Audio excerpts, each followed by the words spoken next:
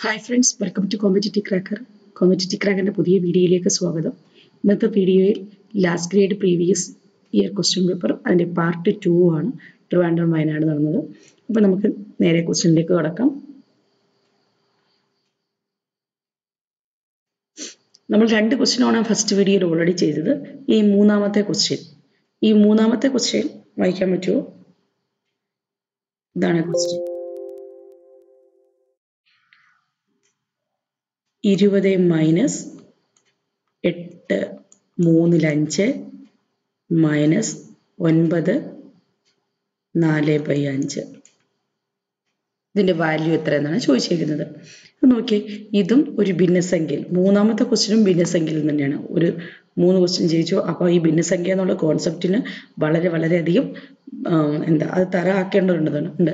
അതായത് അടിസ്ഥാന ആദ്യത്തെ ആ ചാപ്റ്റർ തൊട്ട് അടിസ്ഥാന ഗണിതം ബോർഡ് മാസ് ഭിന്നസംഖ്യ ദശാംശ സംഖ്യ അങ്ങനെയുള്ള ആ ഒരു പോർഷനിൽ തന്നെ ഒരു നാലഞ്ച് മാർക്ക് നിങ്ങൾക്ക് എന്തായാലും ലഭിക്കും.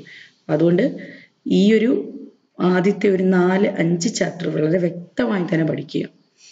എൽ സി എം അതിനകത്ത് ഉൾപ്പെടുന്നതാണ് L C M H C F എങ്ങനെ കാണാം? ഇതൊക്കെ.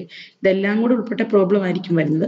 അപ്പം അത് നന്നായി തന്നെ ഒന്ന് മാത്രമല്ല അത് മുഴുക്കയും നന്നായി പഠിക്കുക. സോറി അപ്പൊ നമുക്ക് നോക്കാം. ഇവിടെ നോക്കി ഭിന്ന ഒരെണ്ണം പൂർണസംഖ്യയാണ് ഒരെണ്ണം മിശ്രഭിന്നമാണ് ഒരെണ്ണം രണ്ടെണ്ണം മിശ്രഭിന്നമാണ്. അതിൽ പോസിറ്റീവ് സൈനും ഉണ്ട് നെഗറ്റീവ് സൈനും ഉണ്ട്.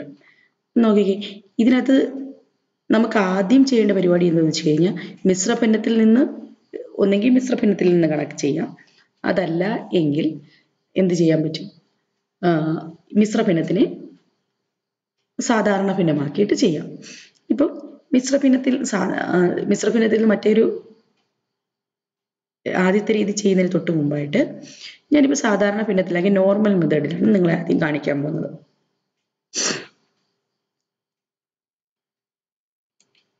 ഇരുപത് എന്നുള്ള സംഖ്യ അതുപോലെ ഇട്ടു. ഈ സംഖ്യ എങ്ങനെയാണ് സാധാരണ ഭിന്നമാക്കുന്നത്?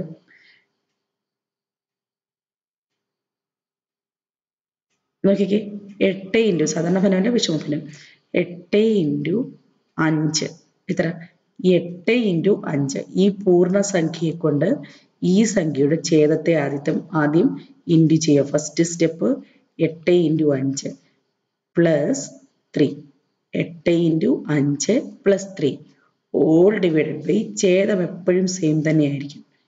ഡിവൈഡഡ് ബൈ ഫൈവ് അതുപോലെ തന്നെ ഇവിടെയും ചെയ്യും. ഇവിടെ എന്തായിരിക്കും? First step minus nine into five plus ആ ആൻസറിനെ nine into five plus four all divided by five. ഇനി നമുക്ക് പറയാൻ പറ്റുമല്ലോ ഇരുപത് എണ്ണഞ്ച് നാൽപ്പത് പ്ലസ് മൂന്ന് എണ്ണഞ്ച് നാൽപ്പത് പ്ലസ് മൂന്ന് നാൽപ്പത്തി മൂന്ന് ഡിവൈഡഡ് ബൈ ഫൈവ് മൈനസ് ഒമ്പത്തഞ്ച് നാൽപ്പത്തഞ്ച് പ്ലസ് നാല് നാൽപ്പത്തി ഒൻപത് ഡിവൈഡഡ് ബൈ ഫൈവ്.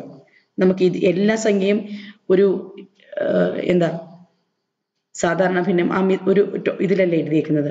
അങ്ങനെയാണെങ്കിൽ നമുക്ക് എന്ത് എഴുതാൻ പറ്റും? ഇതിനെ നമുക്ക് അടിയിൽ ഒരു ഛേദം എഴുതി വെക്കാം. അങ്ങനെയാണെങ്കിൽ നമുക്ക് എല്ലാ സംഖ്യയും ഭിന്നസംഖ്യ ഫോർമാറ്റിലായി അങ്ങനെയാണെങ്കിൽ നമുക്ക് നോക്കിക്കേ. ഒന്ന് അഞ്ച് അഞ്ച്. ഈ സംഖ്യകളുടെ എൽ സി എം എത്ര ആയിരിക്കും ഇതിനകത്ത് ഏറ്റവും വലിയ സംഖ്യ അഞ്ചാണ്.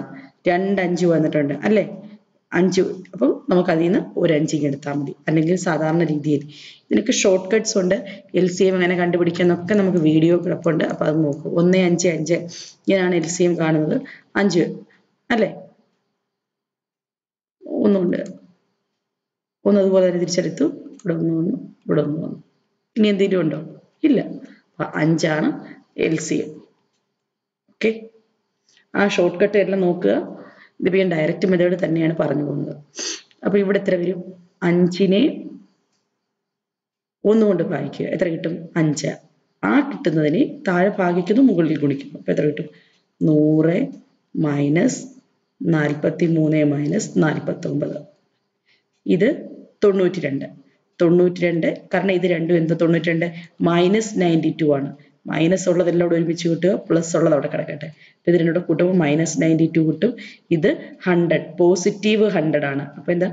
Hundred minus ninety two so answer is eight eight divided by five sorry എട്ടിനെ അഞ്ച് കൊണ്ട് ഭാഗിക്കുമ്പോൾ നമുക്ക് എങ്ങനെ എഴുതാൻ പറ്റുന്നത്? എട്ടിനെ അഞ്ച് കൊണ്ട് ഭാഗിക്കുമ്പോൾ എട്ട് ഡിവൈഡഡ് ബൈ അഞ്ച്. ഒരഞ്ച് അഞ്ച് ശിഷ്ടം മൂന്ന്. ആ ഛേദം ആദ്യം അതുപോലെ തന്നെ എഴുതുക. കിട്ടുന്ന ആൻസർ. പൂർണസംഖ്യ. ഇവിടുന്നാണ് ഇതാണ് പൂർണസംഖ്യ അല്ലേ? ഇതാണ് പൂർണസംഖ്യ. അത് അതുപോലെ തന്നെ ആദ്യത്തെ ഇവിടെ പൂർണസംഖ്യ കൊടുക്കുന്നത്? അങ്ങനെയാണെങ്കിൽ ശിഷ്ടം മുകളിൽ എഴുതിയ പോരെ.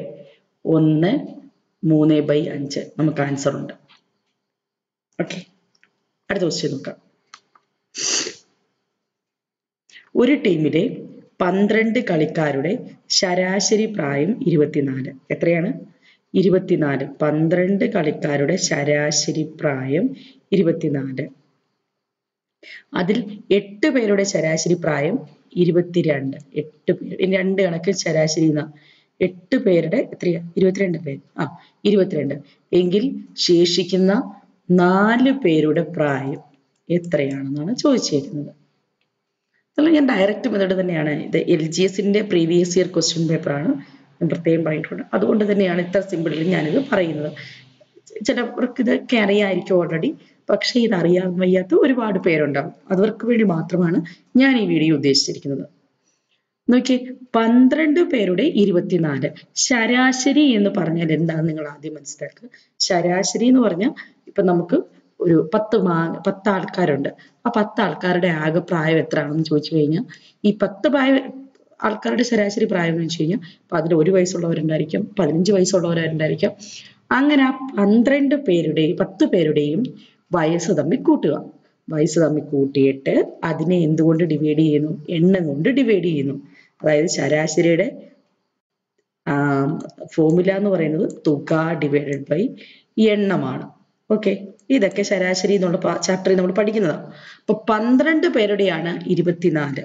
എത്ര പന്ത്രണ്ട് പേരുടെ ഇരുപത്തിനാല്. നോക്ക് അപ്പൊ ഇവരുടെ തുക ഇതാണ് അവരുടെ ശരാശരിയാണ് ഈ തന്നേക്കുന്നത്. പന്ത്രണ്ട് പേരുടെ ശരാശരി കണ്ടുപിടിക്കാനുള്ള ഇക്വേഷനാണ് അപ്പൊ നമുക്ക് പന്ത്രണ്ട് പേരുടെ ശരാശരി തന്നിട്ടുണ്ട്. ഈ ഇക്വേഷനിൽ നമുക്ക് എന്തൊക്കെയാ തന്നേക്കുന്നത് ഇരുപത്തിനാലാണ് ശരാശരി. തുക അറിയില്ല. എണ്ണം എത്ര? പന്ത്രണ്ട്. അല്ലേ? അപ്പൊ നമുക്ക് ഇത് രണ്ടുകൂടെ മൾട്ടിപ്ലൈ ചെയ്ത് നമുക്ക് ഈ തുക കിട്ടും. പന്ത്രണ്ട് ഇന്റു ഇരുപത്തിനാല്. ചെയ്ത് കഴിഞ്ഞാൽ നമുക്ക് എന്ത് കിട്ടും? തുക തുക കിട്ടും. അതുപോലെ തന്നെ ഇവിടെയും എട്ട് പേരുടെ ശരാശരി. ഇവിടെ നമുക്ക് തുക കണ്ടുപിടിക്കാൻ പറ്റത്തില്ലേ? എട്ട് ഇന്റു ഇരുപത്തിരണ്ട് കിട്ടിക്കഴിഞ്ഞാൽ നമുക്ക് തുക കിട്ടും. ഇങ്ങനെ രണ്ട് ചെയ്താലുള്ള ഗുണം എന്ന് വെച്ച് കഴിഞ്ഞാൽ ഈ നമുക്ക് തന്നെ അറിയാം. ഇത്രയും തുകയിൽ നിന്ന് ഇത്രയും തുക കുറയ്ക്കുന്നതായിരിക്കും ഈ നാല് പേരുടെ എന്നുള്ളത് അല്ലേ? പന്ത്രണ്ട് പേരുടെ നിന്ന് എട്ട് തുകച്ച് കുറച്ച് കഴിഞ്ഞ് കഴിഞ്ഞാൽ നാല് പേരുടെ കിട്ടിയില്ലേ? അപ്പൊ അത് ചെയ്യുന്നതല്ലേ എളുപ്പം. അപ്പൊ നമുക്ക് നോക്കാം. എത്രയാണ്? ഇരുപത്തിനാല് ഇന്റു പന്ത്രണ്ട്. ഇരുപത്തിനാല് ഇന്റു പന്ത്രണ്ടൊക്കെ എളുപ്പ വഴി ചെയ്യാനുണ്ട്. ഇരുപത്തിനാല് ഇന്റു നമ്മൾ കണക്ക് ചെയ്യുന്നത് ഇങ്ങനെയാണ്. ഇരുപത്തിനാല് ഇന്റു പത്ത് എത്രയാണ്? ഇരുന്നൂറ്റി നാൽപ്പത് അല്ലെ? ഇനി ഇരുപത്തിനാല് ഇന്റു രണ്ടേ ഉള്ളൂ ബാക്കി. ഈ പന്ത്രണ്ടിനെ ഞാൻ സ്പ്ലിറ്റ് ചെയ്തു. അല്ലാതെ നമ്മൾ എഴുതി ചെയ്യണ്ട. ഇരുന്നൂറ്റി നാൽപ്പത് നമ്മുടെ മനസ്സിൽ വരുമല്ലോ ഇനി ഇത് എത്രയായിരിക്കും? ഇരുനാലെട്ട് ഇരുനാല് ഈ രണ്ട് നാല് അതായത് ഇരുന്നൂറ്റി നാൽപ്പത് പ്ലസ് ഇരുന്നൂറ്റി നാൽപ്പത്തി എട്ട് അപ്പൊ ഇരുന്നൂറ്റി എൺപത്തെട്ട് കിട്ടി. ഇനി ഇതോ ഈരട്ട് പതിനാറ് ശിഷ്ട ഒന്ന് ഇരട്ട് പതിനാറ് ഒന്ന് പതിനേഴ്. അപ്പൊ നൂറ്റി എഴുപത്തി ആറ് പ്ലസ് ഇത്. എത്രയായിരിക്കും? എട്ട്. ആറും ആറും പന്ത്രണ്ട് പതിനാല് ശിഷ്ടം ഒന്ന് എട്ടും എട്ടും പതിനാറ് ശിഷ്ടം ഒന്ന് നാല് അല്ലെ? നാനൂറ്റി അറുപത്തി നാല് ഈ നാനൂറ്റി അറുപത്തിനാല് എന്നുള്ളത് ആരുടെയാണ്? അല്ല നമുക്ക് കുറയ്ക്കല്ലേ വേണ്ടത്? അയ്യോ സോറി ഇത് കുറയ്ക്കല്ലേ വേണ്ടത് ഇരുന്നൂറ്റി എൺപത്തെട്ട് മൈനസ് എത്ര കിട്ടി? നൂറ്റി എഴുപത്തി ആറ് അപ്പൊ എന്ത് വരും? ഇരുന്നൂറ്റി എൺപത്തെട്ട് മൈനസ് നൂറ്റി എഴുപത്തി ആറ് രണ്ട്. പിന്നെ ഒന്ന് ഒന്ന് നൂറ്റി പന്ത്രണ്ട് നാല് പേരുടെ നൂറ്റി പന്ത്രണ്ടാണ് അങ്ങനെയാണെങ്കിൽ നാ നൂറ്റി പന്ത്രണ്ട് ഡിവൈഡ് ബൈ നാല് ചെയ്ത് കഴിഞ്ഞാൽ എത്ര കിട്ടും നമുക്ക്? ഇരുപത്തി എട്ട് അല്ലേ? ഇരുപത്തി എട്ട് ആൻസർ കിട്ടും. അപ്പം ഇത്രയുമാണ്